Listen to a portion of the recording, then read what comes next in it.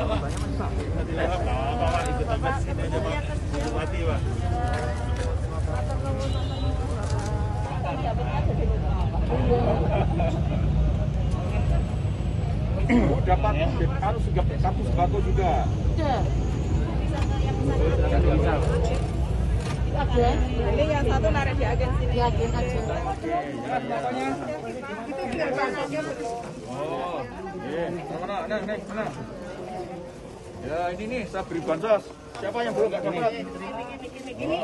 Oh ini nih bu. Ya,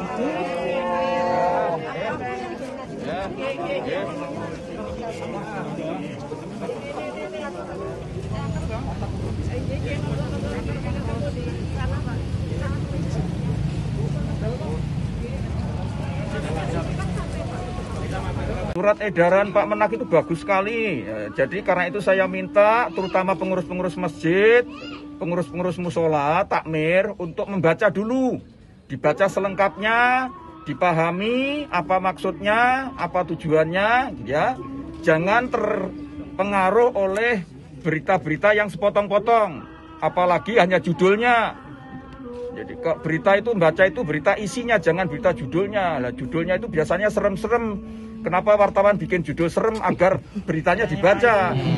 Tapi sayangnya banyak sekarang warga masyarakat kita sekarang ini setelah baca judulnya serem dianggap ya itu judul judul itu padahal judulnya itu cuma pancingan wartawan saja agar kemudian beritanya dibaca ya.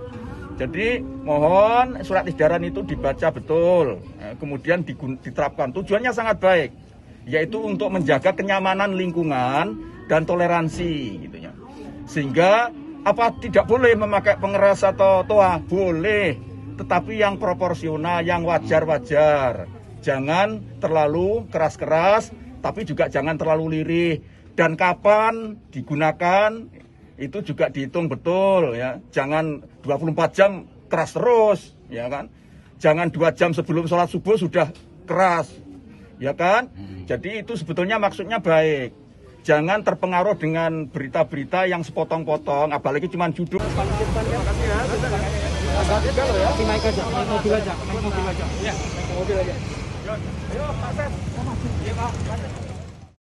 Jangan lupa follow, like, dan subscribe sosial media Tribun Jateng.